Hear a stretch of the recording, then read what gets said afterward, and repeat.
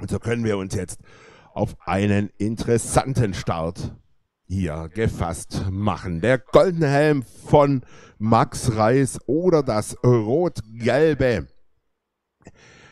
Sitzmuster von Raphael Balzer. Wer geht als erster unten im Tal in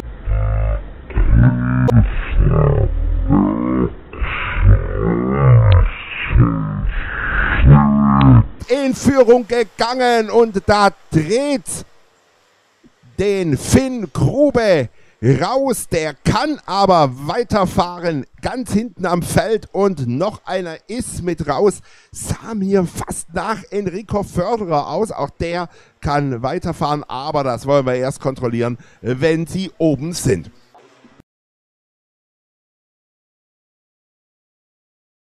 Platz 4, da ist noch der Zweikampf zwischen Time Saleh, Jonas Unknader. Ah, das ist nicht nur ein Zweikampf, das sind schon noch ein paar andere.